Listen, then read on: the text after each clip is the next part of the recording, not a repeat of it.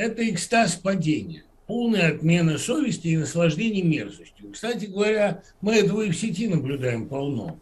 Вот эти все а, престарелые домохозяйки, которые либо постят котиков, либо рассказывают про укронацистов, это их способ получения сексуального удовлетворения, сексуальной разрядки. Они с таким садическим, грязным, зловонным наслаждением пишут о том, как мы будем девинифицировать, деукраинифицировать Украину, как мы будем ее облучать нашим телевидением, как мы будем расстреливать нацистов, выковыривать их из их норм. Ну, это просто такой садизм, причем садизм такой зловонный, от которого разит и секреция, и кухня одновременно. Это э, не, не наша национальная черта. Это было у германского нацизма. Помните, когда Андрей Платонов писал «Глаза девушек, бегущих за машиной фюрера, были наполнены влагалищной влагой». Это покупка на экстаз, да, такой экстаз разрушения. Вот за что они там убили очень многих людей?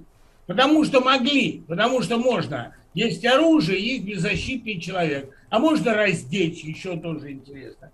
Это такая оргия садизма, которая является всегда компенсацией, а, ну, прямо скажем, отсутствию совести. Вот и все.